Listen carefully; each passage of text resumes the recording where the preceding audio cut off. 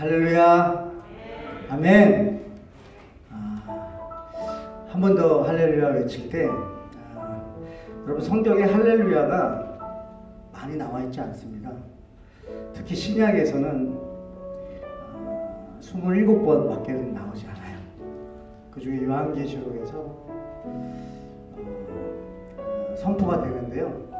여러분 할렐루야를 외칠 때 두 가지 의미가 있더라고요. 할렐루야를 외칠 때 우리 마음에서 아, 죄의 영이 끊어질 때, 사탄의 역사가 끊어질 때, 마귀의 일이 멸할 때 우리 안에서 탄성처럼 나오는 거예요. 할렐루야! 그러면서 예수님이 믿어질 때, 여러분 눈에 보이지 않는 예수님이 믿어져요. 그때 우리 안에서 우리 영이 할렐루야! 외친다는 거예요. 그래서 저는 할렐루야를 외칠 때 그 두 가지를 꼭 생각합니다. 오늘도 마귀의 일이 멸했기 때문에 우리가 이 자리에 있는 줄 믿습니다. 사탄은 원하지 않거든요. 사탄은 예배를 원하지 않아요. 사탄은 자기가 그 예배를 받으려고 하죠. 근데 하나님의 백성들은 하나님만 예배한단 말이에요. 그때 우리 안에서 할렐루야가 외쳐진다는 거예요. 자, 할렐루야 한번 외칠 때 여러분들도 할렐루야를 같이 한번 외치셔서 이 그 고백을 통해서 사탄의 일이 멸, 멸하고 또 예수님의 은혜가 우리에게 임한 것을 우리가 입으로 선포했으면 좋겠습니다. 한번 해보겠습니다. 할렐루야! 할렐루야! 아멘, 아멘, 아멘. 우리 하나님께 영광의 박수 올려드립니다. 하나님이 아니시면 우리가 이 시간에 이 자리에 모일 수가 없습니다. 하나님의 영이 아니면 우리는 이 자리에 모일 수가 없어요. 우리는 각자 생각도 다르고 방향도 달라요. 그런데 예수 그리스도를 찬양할 때는 우리가 하나 될 수 있습니다. 오늘 이 시간 여러분 어, 은혜와 진리교회 창립 10주년 감사 예배를 하나님 앞에 올려드리려고 모였습니다. 맞나요? 어, 여러분의 마음은 어떠세요? 정말 감사하십니까? 어, 저는 어, 오늘 이 날을 굉장히 기다렸어요. 저, 저도 지금 교회, 저희 교회 예배하고 성도님들한테 막 다 양해 구하고 좀 빨리 가야 됩니다. 아, 다음 주에 만나요. 그리고 막 달려왔어요. 왜냐면 저희 교회는 개척한 지 이제 7년 조금, 조금 지났습니다. 아, 그러면서 7년 오면서 창립 10주년? 아, 그냥, 그냥 마음이 짠하더라고요. 어, 저는 아직 가보지 못한 그 길인데, 어, 그 길을 가신 분들과 함께 예배한다고 생각하니까 그게 감동이 됐어요. 여러분 이 시간에 어, 그런 감동이 여러분 안에 있었으면 좋겠어요. 어, 교회는 예수님의 몸입니다. 사람의 숫자가 아니라 예수님이 함께 하시는 곳이 예배고 예수님을 이름으로 예배하는 곳이 교회인 줄 믿습니다. 그래서 10주년 어, 하나님 지켜주신 감사하고 또 앞으로도 하나님 예수님만 바라보면서 우리 은혜와 진리교회가 이 땅에 하나님의 은혜와 예수 그리스도의 진리를 정말 선포하는 그런 생수의 강에 넘쳐나는 교회 되게 하실 줄 믿습니다. 우리 그 믿음으로 같이 예배했으면 좋겠는데 우리 먼저 기도로 나갔으면 좋겠어요. 여러분 찬양하시기 전에 우리가 먼저 마음으로 기도로 주님 앞에 나아갈 때 하나님 성령님 역사해 주시옵소서 지금까지 역사하신 주님 앞으로도 역사하실 줄 믿사오니 오늘 이 시간 가운데 하나님의 은혜를 부어 주시옵소서 이 시간 가운데 하나님의 은혜 부어 주시옵소서 아버지 이 시간 가운데 예수 그리스도의 은혜가 우리 안에 기억나게 역사가 나타나게 해달라고 이 시간 주님의 이름으로 함께 기도하겠습니다. 주여! 아버지 하나님 이 시간 은혜와 진리를 아버지 하나님 사모합니다. 주여 성령 하나님 역사해 주시옵소서. 아버지 주님의 은혜를 사모합니다. 하나님의 은혜를 사모합니다. 하나님의 은혜를 사모합니다. 하나님 주님의 은혜가 시작됐습니다. 아버지 이 자리가 아버지 우리의 신앙에 다시 한번 시작되는 시간 되기 원합니다.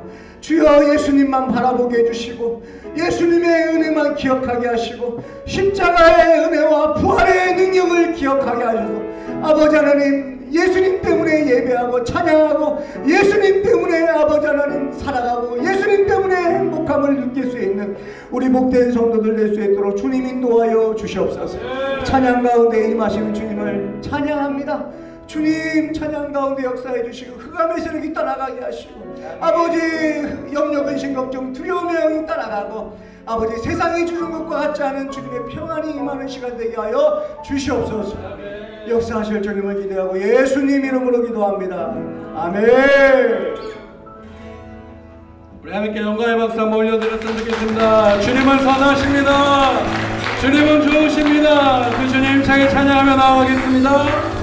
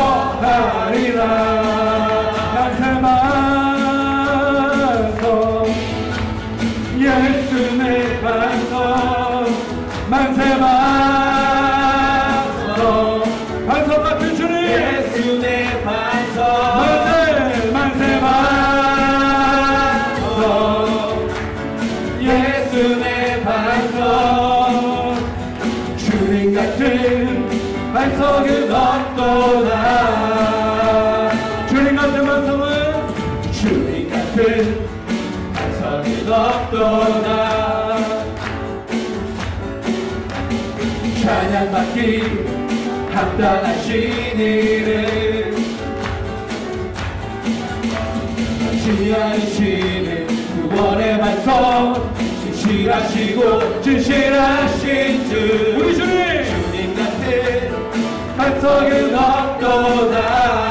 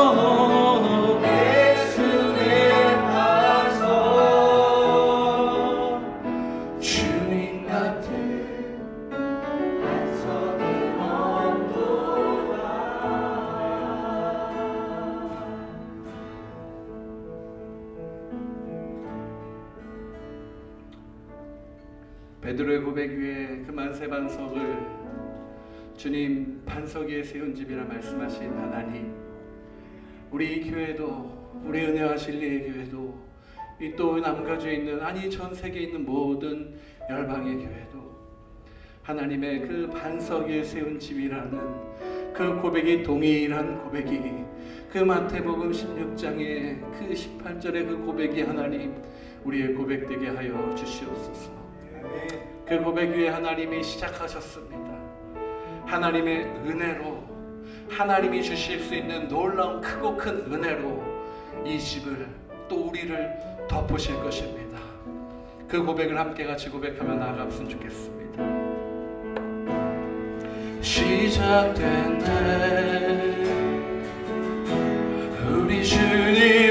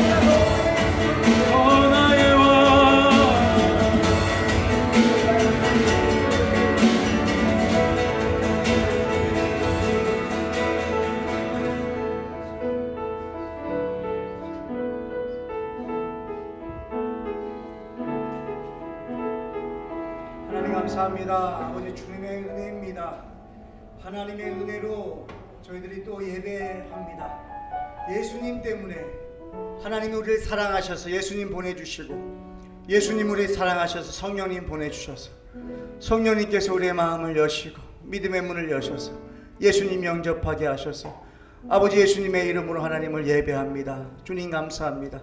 오늘 예배 가운데 모든 시간 시간마다 성령 하나님 은혜로 덮어주시고 성령님의 음성으로 들려주시고 주님의 말씀을 우리 마음에 새길 수 있는 복된 시간 주님 되게 하여 주시옵소서 역사하실 주님 기대하고 예수님 이름으로 기도합니다.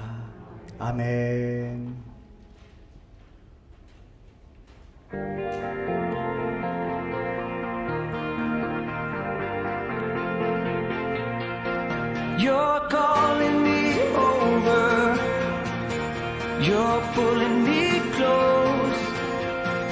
With love, you surround me. You give me hope. Yeah, yeah, yeah. You're taking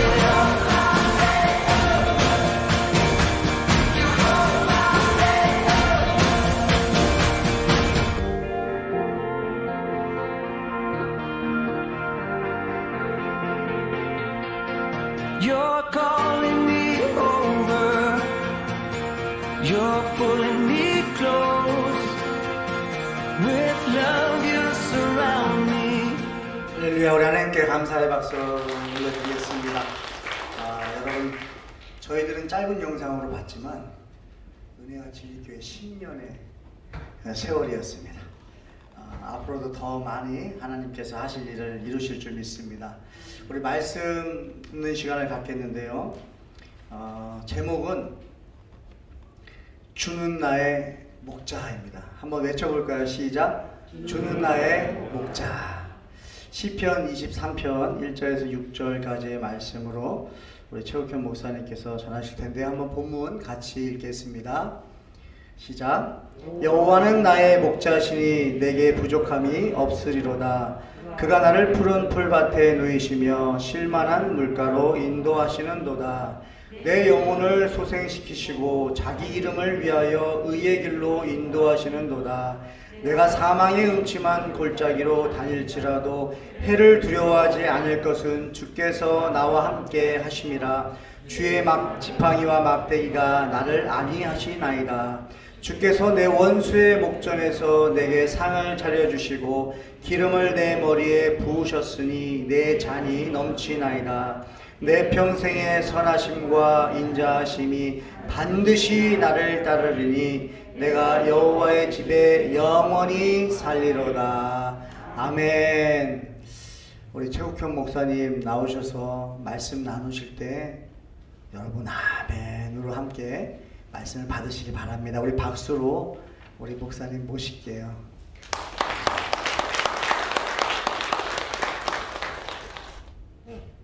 먼저 원근각지에서 오늘 이 작은 교회를 또 방문해 주시고 축하해 주시기 위해서 오셔서 참으로 주님의 이름으로 환영하고 감사합니다. 바로카 바로카바 네, 히브리 말로 하는 거예요. 자, 이스라엘 선교사 주시다 보니까 뭐 별로 아는 게 없어가지고. 아, 사실은 오늘 이 창립 감사 예배를 어, 우리 교회 성도들끼리 조용히 드리려고 했는데 우리 중부교회협의회 우리 후배 목사님들, 동료 목사님들이 무슨 말씀이냐고 10년이면 세월이 몇 년이냐고 강산이 변한다고 그러면서 어, 본인들이 못 간 그 10년의 세월을 가셨는데 아니라고 저희들이 주간에 예배를 인도할 테니까 목사님 와서 설교만 하시라고 이러면서 갑자기 이렇게 예, 우리 성도님들 모시고 우리 선후배 동료 목사님들 모시고 이렇게 예배를 드리게 된 것입니다. 어, 참으로 어, 우리 중부교회 우리 협의회 우리 회장 우리 오충목 오충서 목사님 비롯해서 우리 임원 목사님 감사합니다 할렐루야. 사실은 어, 간증을 하려고 했습니다. 간증을 하다 보면 잘못하면 자기 자랑밖에 안 돼서 일단 먼저는 감사한 말씀을 올리기를 원해요. 아, 이 교회가 시작된 것은 이스라엘 성경 공부를 시작하다가 시작되게 된 거고 계속해서 어, 이스라엘 위해서 중보기도 하다가 강대상에서 이스라엘 선포하라 그 말씀 주님이 아주 지엄하신 명령으로 말씀하셔서 순종하는 마음으로 기도 멤버들과 함께 기도를 시작하다가 개척된 교회입니다. 근데 10년이 어떻게 지났는지 모르겠어요. 더군다나 한 2, 3년 팬데믹 때문에 벌써 10년이 된 날 정도 시간이 너무 마, 너무나 빨리 간 거예요. 근데 이게 뒤돌아보면 짧은 영상이긴 합니다만 모든 것이 정말 우리 오늘 찬양의 고백처럼 하나님의 은혜였습니다. 오직 하나님께 영광의 박수 올려드립니다. 감사합니다 하나님. 감사합니다. 그리고 사실은 저희 교회를 또 빌리게 되고 또 교회를 시작하게 되고 앰프를 사서 또 도네이션 하시고 심지어는 기타까지 또 처음에 시작하신 기도 멤버들 또 새벽 재단을 지켜주신 분들 우리 영상에 나왔던 귀한 성도님들 지금은 타주로 가신 분도 계시고 또 어떤 분은 또 다른 교회로 가신 분도 계시지만 한 분 한분 모두가 아, 저에게 있어서 얼마나 큰 감사고 은혜고 축복의 통로이셨는지 모릅니다. 그 모든 분들 다 이름을 호명하며 부를 수 없지만 감사의 말씀을 전합니다. 할렐루야. 특별히 우리 한국에 계신 어머니, 아버지 아이 또 이 창립 예배라고 이 옷까지 양복까지 또 이렇게 맞춰서 보내주셔가지고 지금 실시간 보시고 계시는데 예, 아버지 어머니 보시나요? 예, 입었습니다. 제가 한 벌 가지고 10년을 입었더니 안 되겠다고 그러시면서 내 죽기 전에 네 양복을 해주마 그러면서 보내주셔서 이 양복을 입었는데 우리 최성모 원로 목사님 오영근 사모님 영상을 통해서나마 멀리 계시지만 감사의 말씀입니다. 사실은 10년 지나서 감사할 분이 한두 분이 아닙니다. 예, 또 우리 형님 또 오셔서 이렇게 집사님인데 이렇게 촬영까지 해주시고 무엇보다 이 팬데믹 기간 중에 우리 성도님들 한 분 한 분 아프지 않으시고 설령 걸리신 분이 있어도 건강히 회복하시고 이 어려움을 이 교회와 함께 이겨내신 우리 성도님들 한 분 한 분 정말 감사합니다. 박수 한번 쳐드리고 싶습니다.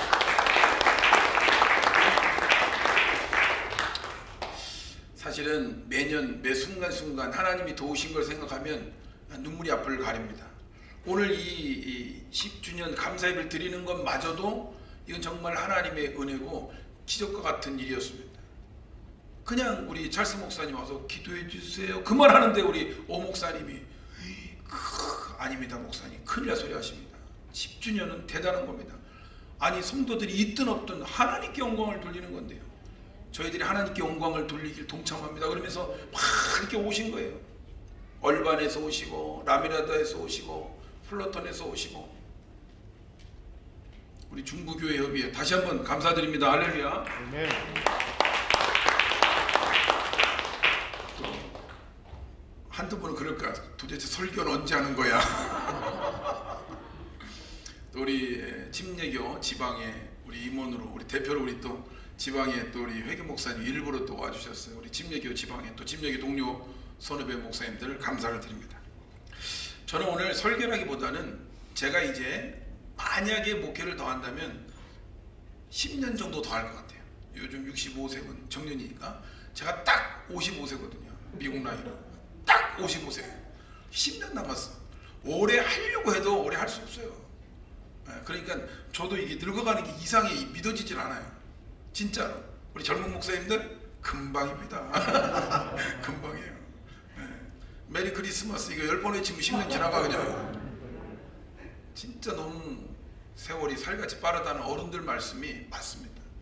50, 60대면 스피드가 배로 더 빨리 간대. 배로 배로. 그래서 저는 오늘 목회 백서를 고백하고자 합니다. 제가 10년 동안 목회를 더 하면 저는 이렇게 하겠습니다. 지금까지 이렇게 못한 것 같아서 가슴을 치면서 회개하는 마음으로 오늘 이 목회 백서를 고백하고자 하는 것입니다. 제가 오늘 이 본문에 있는 말씀을 다 강연할 수는 없습니다. 그 중에 정말 몇 단어 말씀만 오늘 나누면서 저는 이렇게 목회하겠습니다. 라고 고백하고 우리 선배님도 계시지만 우리 후배님 목사님들에게도 아 이런 목회를 우리 한번 같이 해봅시다. 이런 마음으로 이 말씀을 제가 나누고자 하는 것입니다. 오늘 본문 말씀에 보면 그가 나를 푸른 초장에 누이시며 히브리 말로는 비노트 떼시에 아르비체니라고 하는 단어를 쓰고 있습니다. 푸른 초장, 빼누모트 떼시. 저는 여기서 초장에 대해서만 말씀을 나눌게요. 우리들은 보통 푸른 초장 하면은 저기 오스 트레일리아나 무슨 뭐 유럽에 무슨 뭐 양들을 치는 그다음 목자를 목장을 생각하는데 아, 이스라엘 그 광야는 그렇지 않아요. 가보면 광야예요. 근데 양들이 있어요. 양들이 있다는 건 거기에 풀이 돋아나고 있다는 거예요. 제가 또 궁금하잖아요. 거기서 살기도 했고. 그냥 가봤어요. 양들이 있는 곳에. 근데 가보니까 팔팔 돋아나는 새싹. 그게 바로 떼쉬입니다. 새싹을 의미하는 단어입니다. 바로 갓 태어난 이 초장을 뜯어먹는 거예요. 이른비 늦은비를 따라서 거기에 사는 옛날 아브라함의 후예라고 하는 베두인 그런 족장들은 그 풀이 있는 곳을 따라서 이동합니다. 그래서 원래 이동하는 부족이고 그런 목자들의 삶이에요. 그래서 아브라함도 사실은 어, 주님이 말씀하셔서 이렇게 이동을 한 것도 있지만 때를 따라서 그 초장의 양들을 또 소들을 먹이기 위해서 이른비 늦은비를 따라 하나님이 인도하시는 대로 가나안 땅까지 간 거죠. 지금도 베두인들은 계속해서 이동하면서 그 어린 양들에게 푸른 초장, 바로 새싹들을 먹이기 위해서 다니는 거예요. 그래서 그들을 쫓아가 봤어요. 가보면 양들이 다니는 길은 정말 좁습니다. 막 절벽길도 막 다니고 그래요. 근데 거기에 그 목자들이 그 어린 양들을 먹이기 위해서 새싹들, 떼시에 그를 먹이기 위해서 이끌고 다니는 거예요. 전 거기서 깨달은 게 있어요. 아, 목자는 에, 다 그냥 건조더미에 이렇게 쌓았던 거 주는 게 진짜 목자가 아니고 지금 팔, 파릇 쏟아나는 쏟- 쏟- 응? 돋아나는 그런 새싹들을 먹이기 위해서 먼 길도 마지 않- 마다 않고 양들을 이끌고 가는 게 목자구나. 가난 땅 그 지금 유대 광- 광야가 지금 가도 마찬가지예요. 떼시 없어요. 그거 먹이려면요 너무너무 고생을 합니다. 근데 양들은요 오래된 자란 그런 것들 잘 안 먹어요. 아주 새싹만을 뜯어먹는 게 양들의 특징이에요. 그 양들은 멀리 못 봐요. 가까운 것만 봐. 그래서 절벽에서 떨어지고 그러는 거예요. 근데 가까이 돋보기처럼 봐야 아주 자그마한 새싹을 먹을 수 있거든요. 제가 목회를 해보니까 솔직히 말씀드리면 이게 쉰밥 대충 해서 드리면 싫어하더라고요. 예, 또 오랜 1년 된 거 다 굵었던 거 다시 또 냉동실을 널렸던 거를 녹여가지고 줘도 싫어하더라고요. 근데 막 내가 성령이 충만해가지고 바로 우려내가지고 막 은혜스러운 걸 그냥 막 주면 그냥 꿀송이보다 꿀보다 더 단 것처럼 아멘 하면 받아 어, 드시는 우리 성도님들을 기억하기 때문에 어쩌면 그렇게 성도들이 귀신 같지 않은지 몰라. 양들은 양인가 봐. 그래가지고 은혜스러운 말씀은 기가 막히게 하세요. 어떤 때는 막 저의 그 철학과 사상과 그 관념과 세계관을 막 녹여내가지고 막 책도 읽고 막 가서 스- 막 세미나 받, 막 은혜 받은 거 막 섞어가지고 막 주려고 그러면 은혜를 못 받더라고. 근데 생각지 않게 제가 막 은혜 받은 그 묵상을 많이 했던 말씀이 있어요. 그런 말씀을 그냥 지나가는 말씀을 드렸는데 그거 그거 갖고 은혜 은혜 받았다는 거야. 그러니까 저는 그랬어요. 아, 성도들을 위해서 말씀 묵상을 끊임없이 해야겠구나. 이 좀 이렇게 어려운 일이 있을 때 우리 집에 새들이 날라와서 새끼를 낳았어요. 와, 근데 그 새끼가요, 우리가 주는 그 뭐야 카스테라 빵도 안 먹고 무슨 땅콩 가른 것도 안 먹어. 오직 뭐만, 뭐만 먹느냐? 그 어미새가 물고 온 그거를 쫙 해가지고 하나씩 하나 넣어주는 거 그것만 먹더라고 기분 나쁘게. 난 열심히 뭘 주는데. 그러더니 이 새끼가 자라가지고 날아가 버렸어요. 그거 보면서 느낀 게 있어요. 아, 우리 성도들을 위해서 내가 남은 10년 목회할 때 정말 묵상을 많이 해서 하나님 말씀을 정말 팔파듯 은혜스럽게 돋아나는 그 새싹들을 성도님들이 정말 원할 때, 갈급할 때, 필요로 할 때 내가 먹이고 그리고 양육해야겠구나 그런 생각을 하게 되었습니다. 고세 사장 6절 내 백성이 하나님을 아는 지식이 없어 망하는도다 그랬거든요. 말씀은 넘칩니다. 꼭 바닷가에 물은 많은데 먹을 물이 없는 것처럼 뭐 영상, 설교 영상, 뭐 비디오 영상, 뭐 유튜브 뭐 어딜 봐도 다 설교죠. 근데 그것이 나의 말씀으로 레마로 다가오지 않을 때 성도들이 그 갈급한 심령을 우리 목사들이 목자들이 모른다면 어떻게 하겠어요? 그래서 제가 남은 10년은 목회를 이렇게 해야겠다. 바로 푸른 초장으로 정말 우리 성도님들을 원할 때 영의 양식을 정말 최선을 다해서 잘 먹이고 나누고 은혜를 끼치는 목사가 되야겠다. 이렇게 고백하는 것입니다. 할렐루야. 두 번째 고백하는 것은 쉴 만한 물가로 인도하시는도다라고 하는 말씀입니다. 알메 메니호트 예나 할레니 알메 이게 이제 물에 대한 거예요. 이거는 복수로 말하면 우리는 보통 마임이라고 그래 마임 히브리 말로. 그래서 이제 그 물들이 이스라엘은 많지 않습니다. 아브라함 족장도 그 이삭과 함께 그 맨날 우물 우물 파기만 하면 와서 뺏어가고 파기만 하면 뺏어가고 물싸움이거든요. 원래 광야에서 목자들은 물이 생명이에요. 그게 가장 1호 재산권입니다. 그렇기 때문에 이, 이 푸른 초장뿐만 아니라 쉴만한 물가로 인도하는 것이 목자의 사명입니다.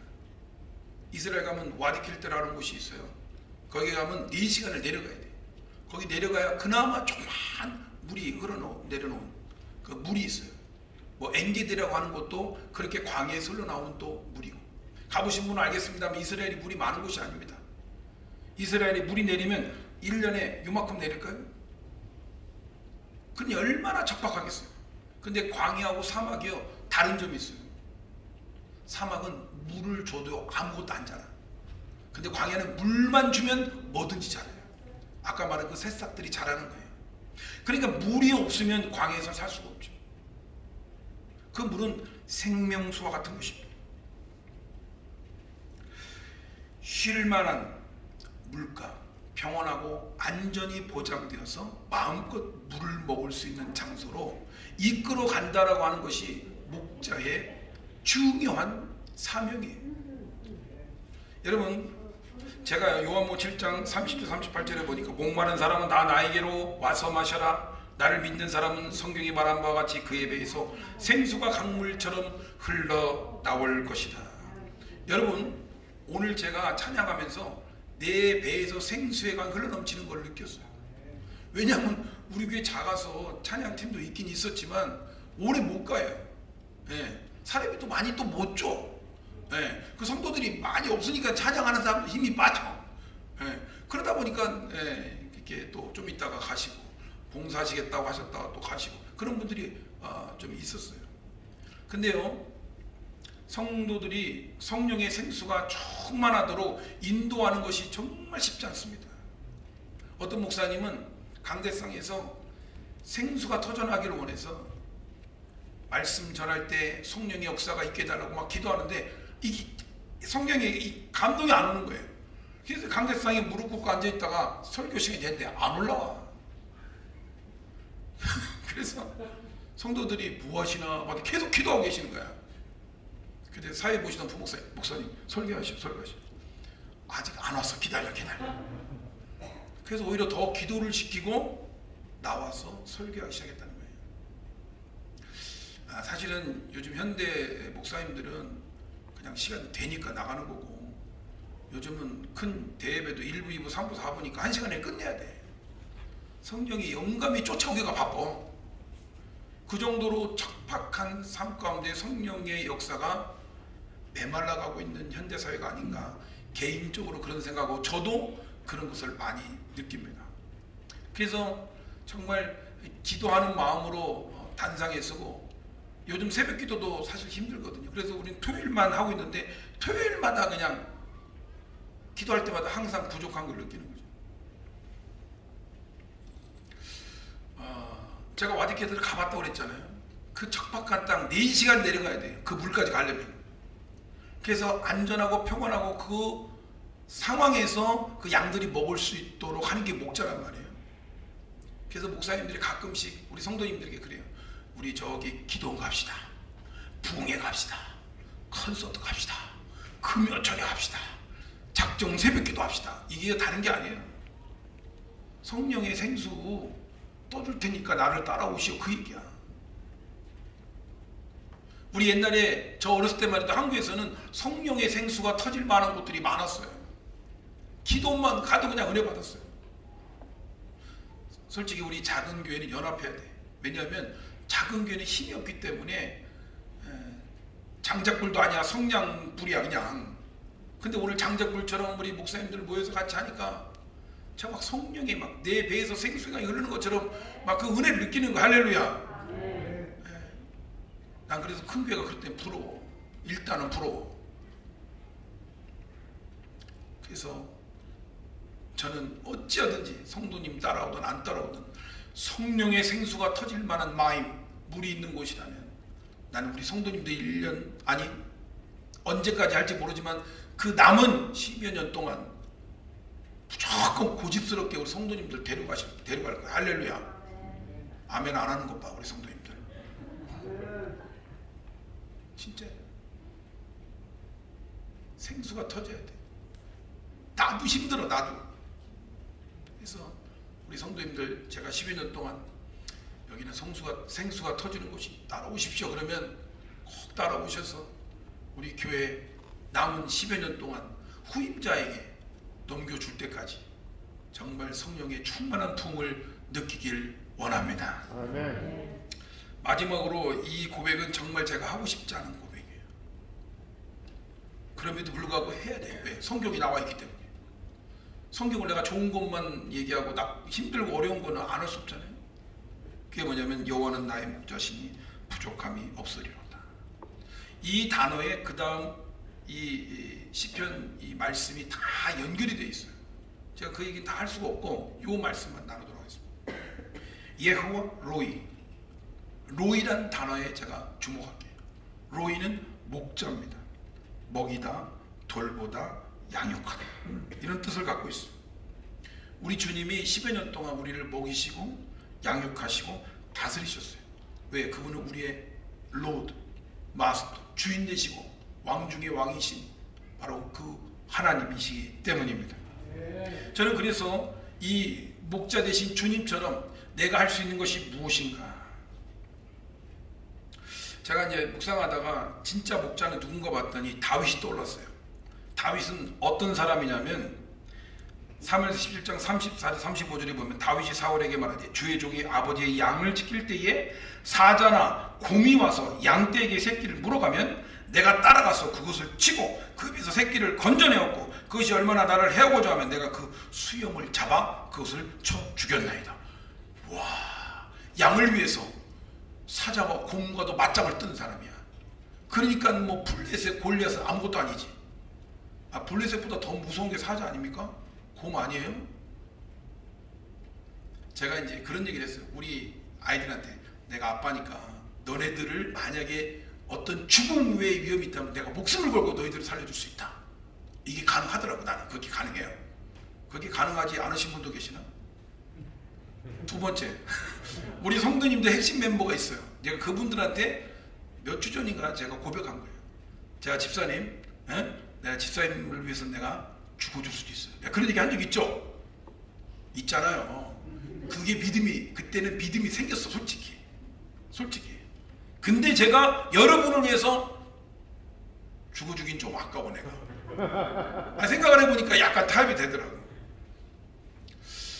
그런데 이 다윗은 이 양을 공교히 다루었을 뿐만 아니라 사자와 곰하고도 싸워서 그 양을 되찾았다잖아요. 어, 거기에 내가 주는 나의 목자, 내가 목자가 되겠습니다 하는데 이 세 번째 말씀을 전하는 게 굉장히 부담스러웠어요. 이 말씀은 목사 한 수고 뭐 이렇게 가, 축하하고 권면할 때 제가 권면하는 말씀을 했어요. 나는 못하지만 너는 해봐 이러고. 근데 제가 이 말씀이 계속 떠올라서 간증보다 이 말씀을 하게 된 이유가 내가 더 문제다. 너는 할 수 있냐? 너 진짜 목자가 될 수 있냐? 남은 목회 네가 10여 년 남았다고 하지만 목숨 걸고 너희 양을 위해서 목숨 걸고 지킬 수 있냐? 아 그 말씀을 계속 하시니까 다른 설교는 준비할 수가 없었어요 제가. 그런 다윗이었기 때문에 블레셋과도 제일 앞에 나가서 목숨 걸고 나라를 위해서 싸웠죠. 그리고 마침내 그는 성군 다윗이 된 것 아닙니까? 제가 10년 남은 세월 동안 목회를 한다면 우리 성도님들을 위해서 지금도 너무 부족한 게 많지만 이것만큼은 꼭 지켜야겠다라고 하는 마음으로 고백하는 것입니다. 예수님도 열두 제자만을 위해서 죽으신 게 아니라 모든 인류를 위해서 십자가에서 우리 죄를 대신하여 죽지 않으셨습니까? 다윗도 항상 먼저 핍박을 불사하고 동족인 유대인들에게 나갔던 바울처럼 내가 관제와 같이 벌써 내가 보험이 되고 나의 떠날 기약이 가까웠도다. 너희들을 위한 내가 제사의 제물로 드려질지라도 나는 너희를 위하여 선한 싸움을 싸고 너희를 위하여 순교의 제물로 나아가 있다는 이 바울의 고백을 생각하면서 제가 영어 이름이 폴이거든요. 내가 바울처럼 다윗처럼 예수님처럼 남은 10여 년 동안 목회를 한다면 아 진짜 목숨 걸고 해야겠구나 목숨 걸고 해야겠구나 인도에 가면 잔스카라고 하는 음, 마을이 나옵니다. 히말라야의 차 마을이에요.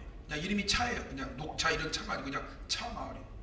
근데 거기에서 아이들을 학교로 보내려면 10일 동안 겨울 산맥 계곡을 지나서 학교를 6개월 동안 보내는 곳이 있어요. 그래서 그 아이들을 보내는 그 길을 일명 차다라고 그래요. 우리말로도 차요, 차. 그 한국 한국말로 뜻이 뭐냐면 얼음길이야, 얼음길. 얼음길로 아이들을 데리고 학교를 보내는 거예요. 자, 그거를 보면서 어, 어떤 마음이 든 내가 목자로서 우리 성도들을 데리고 저 차디찬 길을 10일 동안 갈 수 있을까 생각하니까 야 여러분 그 히말라 계곡에서 자녀들 교육시키겠다고도 10일 길을 그 추운데 얼은 그 동토의 땅을 걸어가는 그 부모를 보면서 제가 깨달겠어요. 주님, 나의 가는 길이 아굴골짝 빈들일지라도 저에게 맡겨주신 영혼들에 대해서만큼은 제 남은 목회의 인생을 목숨 걸고 섬기겠습니다. 라고 하는 제 마음의 결단과 오늘 여러분에게 목회 벡터를 공중 앞에서 제가 고백하면서 오늘 말씀을 마치려고 합니다.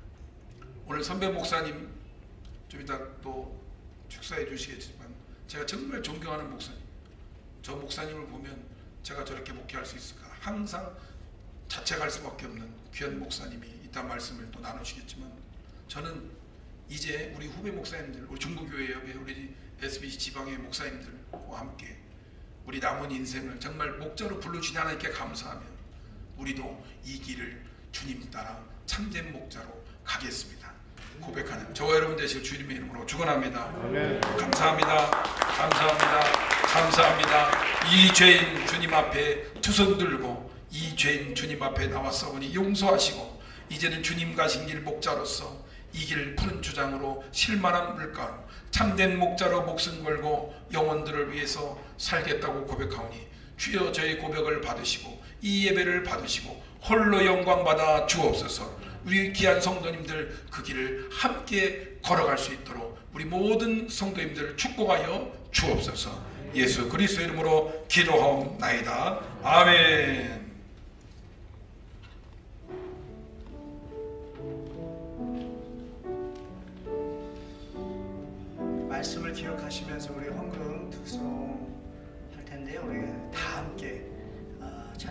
합니다. 아, 최국현 목사님이 이 찬양을 고백했으면 좋겠다 연락 오셔서 아, 이거는 한두 명이 할 것이 아니라 다 함께 했으면 좋겠거든요. 감사 찬양입니다.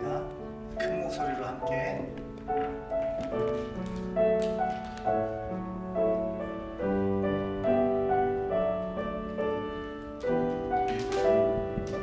하신 분들은 안 하셔도 되고요.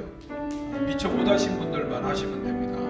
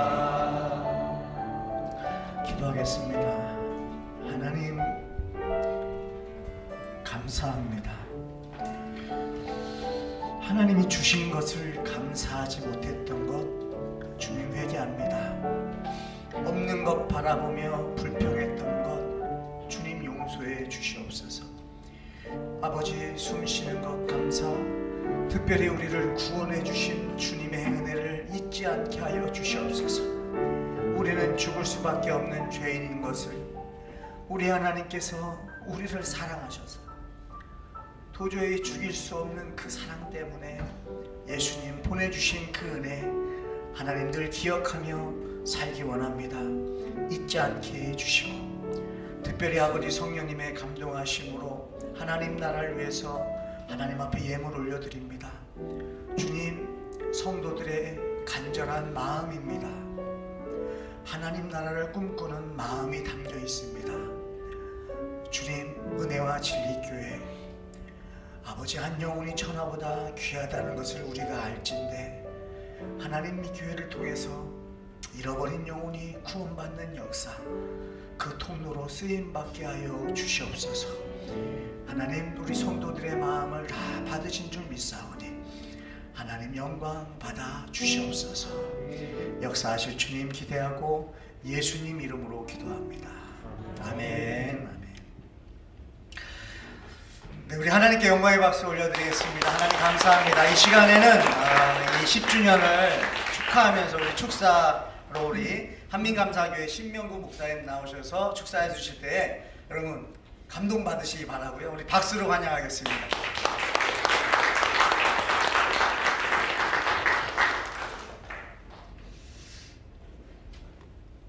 어, 그 부족한 종을 또 이렇게 불러주셔서 감사하고요. 어, 제가 그 문자를 받았는데 10분 동안 하라고 하더라고요. 원래 축사는요 2분만 하면 딱 맞습니다. 근데 우리 목사님이 10분 하라고 해서 저는 이제 그 정도는 못하고요. 간단하게 어, 몇 가지 말씀을 좀 드릴까 합니다.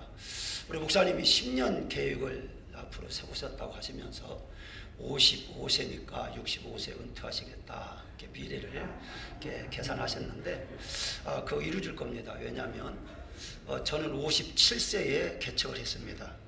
어, 지금 68세인데 저희 교회가 지금 11년 차예요. 지금 그래서 다음 주가 저도 우리 이제 11년 어, 기념 예배를 드리게 되는데 어, 제가 1년 그 형제로 좀 우애니까 동생 교회가 이건 좀 동생입니다. 10년 차고 저는 11년 차고 네, 57세에 아, 이제 그 개척을 이제 여기서 하게 됐을 때에 아, 굉장히 망설였어요.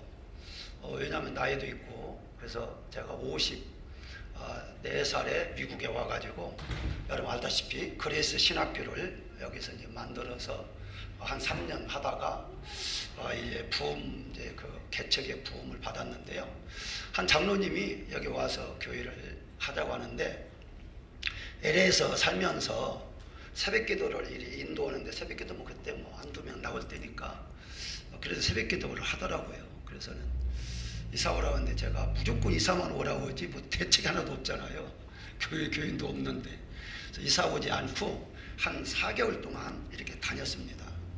새벽마다 다니면서 어떻게 핑계를 대고 안 올까 이런 생각을 가지고 하는데 하루 어느 날 예배를 끝나고 올라가는데 하나님께서 감동을 주시더라고요.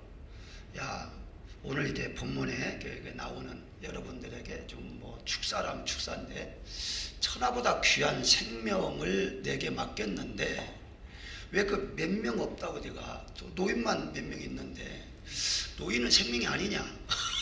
그러면서 아 뭐 호령 같은 소리가 쫙 들리는데요.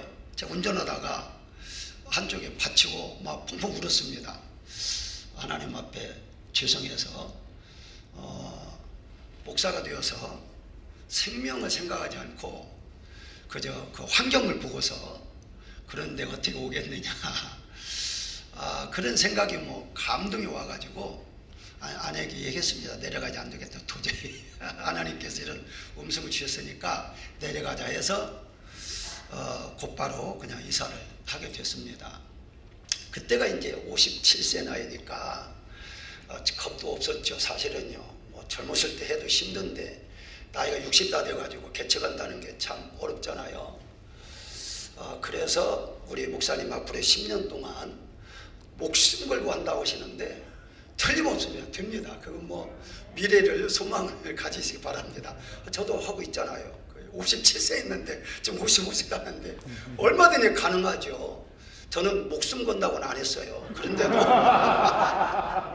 그런데도 하잖아요. 그렇기 때문에 얼마든지 가능하거든요. 아니 죽는다는데 하나님께서 가만 놔두겠습니까? 할렐루야. 예, 제가 그 와서 처음에 무릎을 꿇고 기도할 때에 어, 어떻게 내가 하나님 앞에 헌신할까 이런 생각을 하면서 기도했습니다. 목숨은 내놓을 수는 없고 그래서 기도했더니 네가 잘하는 것을 하나 해라 그러더라고요. 그래서 제가 잘하는 게 원래 금식을 제가 잘 못했어요. 몸이 약해 지금 몸이 좋습니다만은 그런데 하는 게 철화는 잘했어요. 철화. 왜 철화는 잘하냐면 가서 자면 되잖아요. 철화라는 게 밤새도 눈독 있는 게 철화가 아니에요. 그냥 가서 단에서 기도하다 자면 돼요. 아니 왜 자는? 잠이 오는데 잠자는 것이지. 잠이 안 오면 눈도 있고 잠이 오면 자는 거고 깨워주면 눈 뜨고 그걸 잘했거든요. 그래서 사실은요 결혼하고도 어, 교회에서 계속 살았기 때문에 제가 아이를 10년 만에 낳습니다. 그럼 이해가 될 거예요. 빨리 알아들어요. 왜 10년 만에 낳는가 하는 것은 빨리 알아들어야 됩니다. 하루는 안 해요. 그러더라고요. 별 보야 별 따지고 그러더라고요. 그래 별 보야 별 따는데 애가 없다고 기도만 해봤자 안 되잖아요. 그래서 10년 만에 나왔습니다. 지금 같이 왔는데요. 어쨌든 그 정도로 교회에서 그냥 살았어요. 그걸 하나님이 지혜를 주시더라고요. 내가 나이가 들고 할 수가 없는데 뭘 했으면 좋겠어 했더니 또 잘하는 게 있잖아. 그래서 이제 지금도 제가 집에 안 잡니다. 교회 잡니다. 지금까지도. 왜냐면 이제 한 2년만 있으면 은퇴하는데 어, 빠르면 내년에 하고 그럼 내후년에 할 텐데 끝까지 제가 채우려고 지금 한 번도 집에서 잔 적이 없습니다. 이사 와가지고 한 번 잔 적이 있어요. 왜냐? 이사 왔는데 집에 문이 문고리가 잠궈지질 않아요. 그 아내가 무섭다고 하더라고요. 문이 이제 잠글 수가 없으니까. 그래서 이사 와서 한 번 그 집 지켜주느라고 잠자고 지금까지도 교회에서 저는 지냅니다. 그것은 무엇을 말하냐면 내가 할 수 있는 거 하면 되는 거예요. 우리 목사님 생명까지 준다고 했는데 뭐 못할 게 뭐 있겠습니까? 나는 생명 안 준다고 못한다고 했는데도 하잖아요. 그래서 틀림없이 10년 후에는요 엄청난 일을 할 것이라고 소망을 가지시고 출발했으면 좋겠습니다. 목회라는 건요 아, 여기 천하보다 귀한 생명이라고 하잖아요.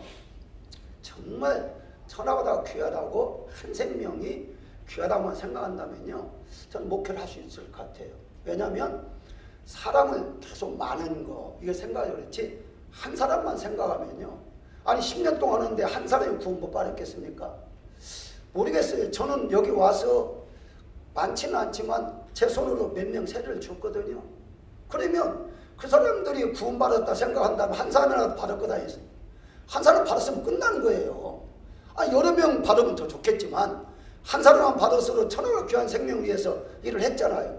그러면 된 것이지 뭐 어떻게 뭐 큰 것을 제가 바라보겠습니까? 여러분도 마찬가지일 거예요. 아니 어떤 분은 아니 교인이 한 명도 없는데요. 아니 자녀가 있잖아요. 자녀는 생명 아닙니까? 자녀를 날마다 앉혀놓고서 너 예수 믿어라 예수 믿어라 그러면 되는 거예요. 그게 그 아이 정 안 되면 하나 더 낳으세요. 낳아가지고 그 낳은 아이를 교인을 삼아가지고 열심히 하면요 얼마든지 가능해요. 아니 외부에 온다고 생각할 필요 없어요. 나오면 돼요. 몇 년 전에 벌써 얘가 여, 여섯 살인데요. 우리 교회에 나이 같은 집사님 아내가 자꾸 애 낳아라 애 낳아라 아니 두 명이 지금 있는데 왜 이게 어떻게 납니까? 그래도 나라 40이 넘었는데. 아 그래도 나라. 그리고 진짜 났어요. 나고리 걔가 지금 벌써 6년 6살 됐어요. 얼마나 잘 컸는지 몰라요. 걔가 유일하게 유, 유년부가 돼 있어요 지금. 그 오빠들이 이제 중고도 중고등부 이제 고등부고 그렇게 아니 유년부가 있다니까 하나 내 하나가. 그래서 걔를 위해서 선생이 있어요. 하나의 하나 선생이에요. 교수, 교사를 이제 임명하고 그렇게 하거, 하거든요. 그러니까 안 되면 교인들에게 애를 자꾸 낳게 해야 해요. 방법이 없어요. 전도 안 되면 그렇게 해야죠. 나이가 들었다고 생각하지만 요즘은요, 50살도 나요, 50살도. 제가 어디 가서 그 간증했더니요, 그 목사님이 만석이라는 목사님이 계세요, 만석. 만석이라는 성은 안 밝힐게요. 이거, 이거 프로톤에 계시니까. 만석이라는 목사님이 자기는 아버지가 71세에 났대요. 그거 내가 놀래가지고 71세인데 어떻게 났느냐 물었더니요. 났대요. 자기가 증인, 증인이 자기 났대. 그래서 어떻게 났냐 했더니 어머니를 첩을 얻어갖고 났다는 거예요. 그게 본부인이 아니야. 첩이야. 그러니까 여자가 젊으면 낳기는 났나 봐요. 그래가지고 자기가 이렇게 살다 보니까 얼마나 힘들었겠어요. 첩살이 하니까. 이제 그래서 목사가 됐다는 간증을 제가 들었거든요. 개인적으로 이렇게 둘이 나눌 때 간증을 했으니까 그러면서 아 목사님 그런 방법 좋습니다. 교인들 내놔라고 나가 있잖아요. 내가 71살에 난 아이예요. 그 목사에 그러더라고요. 그러니까 혹시 우리 목사님 교인 중에 40대가 있다면 계속 푸시를 하세요. 그래가지고 전도 못하면 애라도 나라. 그렇게 해가지고 한 명 부흥이 되잖아요. 얼마든지 가능하고 목사님도 55세인데 가능할지 모르겠지만 어쨌든 그렇게 하면 좋아요. 목회가 쉽지는 않습니다. 그한명 한 명을 살리는 데 있어서 한 말씀만 더 한다면 우리 목사님들한테 위로가 되기 위해서 어느 날 이렇게 어, 자고 있는데 도둑이 돌았어요. 도둑이. 도둑이 돌았는데 제가 이제 그 사무실에서 이렇게 이렇게 바닥에서 이렇게 기도하다 자고 있는데 아니 눈 떠보니까 이렇게 발로 누가 차요. 그래서 눈 떠보니까 새카만 애가 딱 서 있는 거예요. 그래서 제가 뭐 한국말로 누구냐 그랬죠. 왜냐면 뭐 한국 사람 다뭐 영어도 나오지 않고 뭐 한국말도 나오니까 누구냐 그랬더니 와 그러더라고요. 못 알아듣는 거죠. 그래서 이제 일어나갖고 뭔데 그랬더니 아니 보니까 미국인데요. 뭐 이제 미국인데 서가지고 칼을 딱 들고 있는 거예요. 칼을 딱 들고 있는 거예요. 그 돈 내놓으라는 거죠. 그래서는 없다. 다 뒤져가라. 네가 찾아가라. 네가 찾아가라. 그리고 이제 그때는 정신이 없었죠. 가고 난 다음에 어막 식은땀이 나더라고. 아 이거 죽을 뻔하잖아. 그리고 어떻게 들어왔나 문을 다 잠궜는데 봤더니요 벽을 뚫고 들어왔어요. 구멍을 내가지고 벽을 뚫고 들어왔는데 벽을 뚫는다면요 그 정도로 사람이 들을 정도 벽이 뚫렸으면요 소리가 날 텐데 제가 소리를 못 듣고 그냥 그렇게 깊은 잠을 빠진 거예요. 그래도 하나님께서 살려줬잖아요. 안 죽였잖아요. 아니 돈이 없는데 안 네가 다 네가 찾아가라 했거든 내가. 와뭐 우리 아내한테 첫 번 얘기인데 어, 뭐, 뭐, 이런 일이 있었다는 것은 제가 제가 얘기를 안 했어요. 그런 일들이요 뭐 교회에서 있다 보면 여러 가지 많습니다. 그럼에도 불구하고 생명 하나님 지켜주잖아요. 그 나를 죽고 하나만 산다면은 엄청난 일이거든요. 그러다 보니까 하나님께 불쌍히 여기서 지금까지 목회는 하게 해요. 목회는 목회는 하게 해요. 목회한다는 것 자체가 아주 중요하거든요.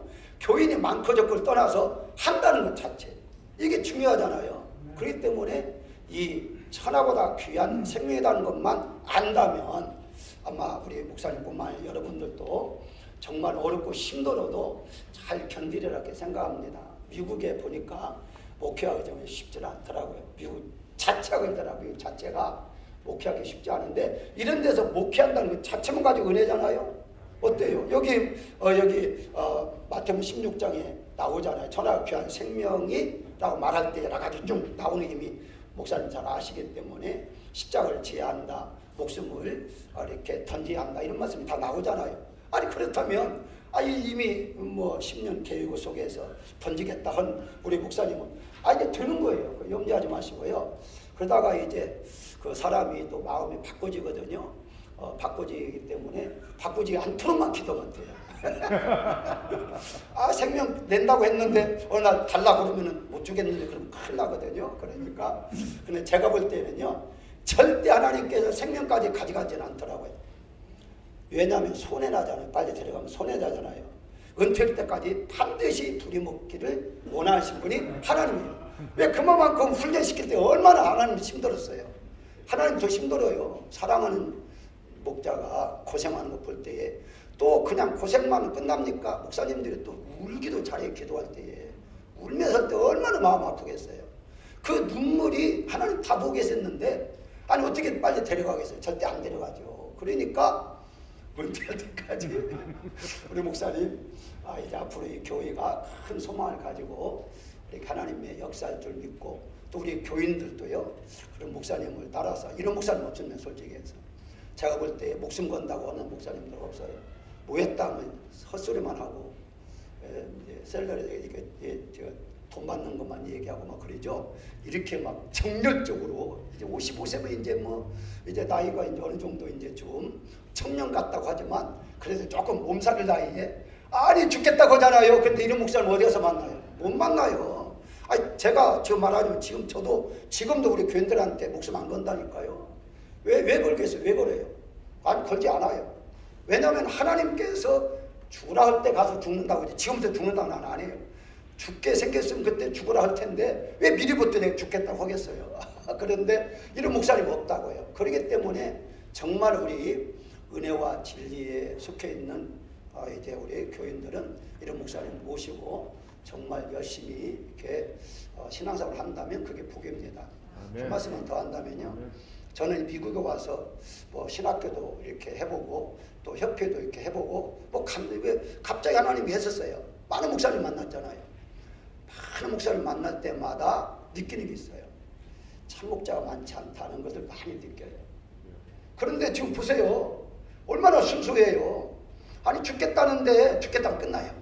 애들도요 죽겠다 하면요 아무리 고집 피워도요 어렸을 때에 부모가 애를 데리고 가잖아요. 뭐 사달라고 떼쓰잖아요. 안 사주면 가면요 그냥 마음 약한 애는 따라오다가 멈추면 또 멈추고 따라오다 막 울면서 멈추고 그래요. 근데 독한 아이는요 누워버려요.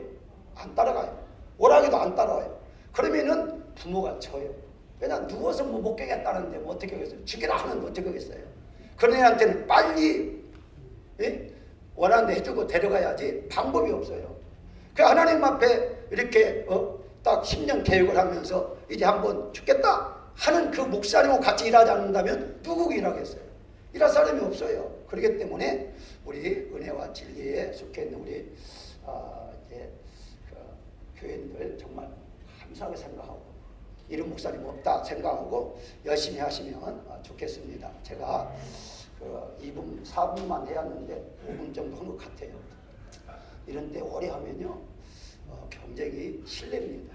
왜냐하면 설교도 15분 만에 끝나는데 무슨 그 축사를 10분이나 하느냐 이렇게 생각하니까요. 우리 여러분들 모두가 다 목사님과 교인들 앞으로 10년 이상 어, 하나님의 은혜가 진리가 충만한 교회가 되시기를 주의 이름으로 축원합니다. 감사합니다.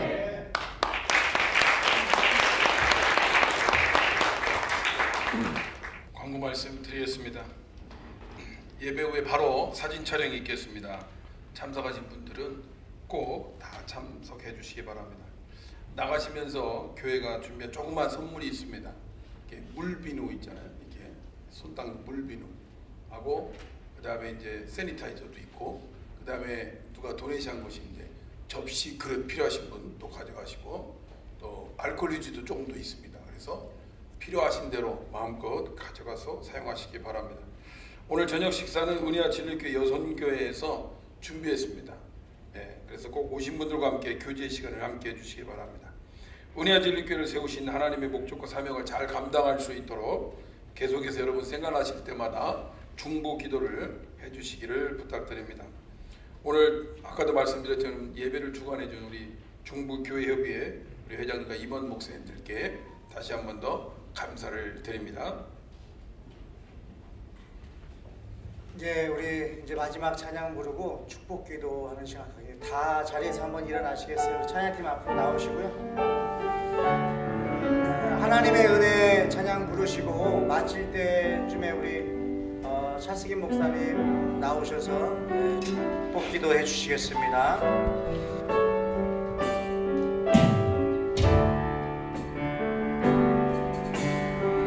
나를 지으시니가 하나님 나를 지으시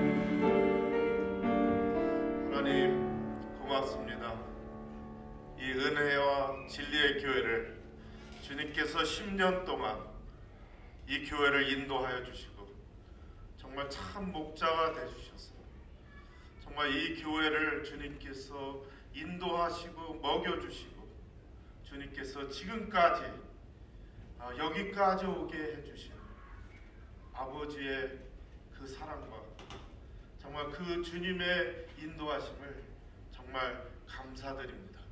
또 지금까지 우리 최국현 목사님 수고하시고 또 그 사모님과 더불어 정말 열심히 이 교회를 위해서 기도하며 지금까지 이 교회를 위해서 어, 열심히 정말 헌신한 그 헌신을 주님께서 기억하여 주시고 또이 함께 정말 목사님과 함께 이 성도들이 지금까지 여기까지 걸, 걸어오게 하신 아, 그 함께한 모든 성도들에게도 주님께서 정말 주님의 은혜를 마음껏 주님 부어 주시옵소서. 아버지 또한 이제 10년을 바라보면서 새로운 마음으로 새로운 다짐으로 또 10년을 함께 걸어가는 그 성도들 또 목숨을 내놓고 내놓을 만큼 또 목숨을 내놓은 우리 최국현 목사님 주님께서 함께하여 주시옵소서. 자, 우리와 자, 지금까지 함께한 모든 분들에게 줄것 마음껏 주님께서 어, 정말 은혜와 복을 내려 주시옵소서. 지금은 정말 우리를 사랑하셔서 독생자를 보내주신 하나님의 사랑과 또 주님의 그 은혜를 아, 정말 이 세상에 오셔서 우리를 죽으시고 자기의 목숨을 아끼지 아니하신 예수님의 그 은혜와 또 우리와 우리와 함께 하시고 우리에게 내주하셔서 우리를 인도하시고 감화 감동해 주시고 정말 우리를 정말 주님이 오시는 그날까지 우리와 함께 하시고 인도하시는 그 성령님의 그 인도하심이 오늘 이 예배에 참석하고 또 주님 앞에 감사를 올린 모든 성도들과 또 우리 지방의 또 우리 지방의 멤버들과 또 교회 협의에 어, 같이 동역하는 우리 동역자들에게 주님이 함께 하시기를 우리 예수님의 정말 거룩하신 이름으로 정말 감사하며 축복하기를 원합니다. 예수님의 이름으로 기도하옵나이다. 아멘.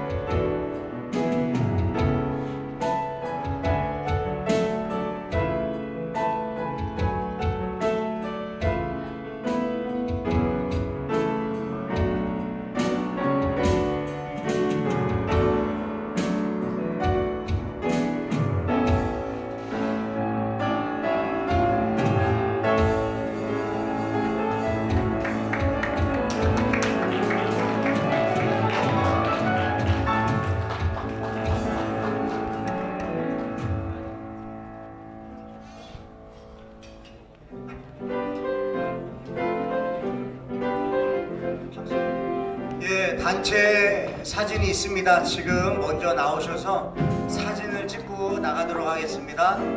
자, 앞으로 빨리 나와 주시는 게 도와주시는 거예요.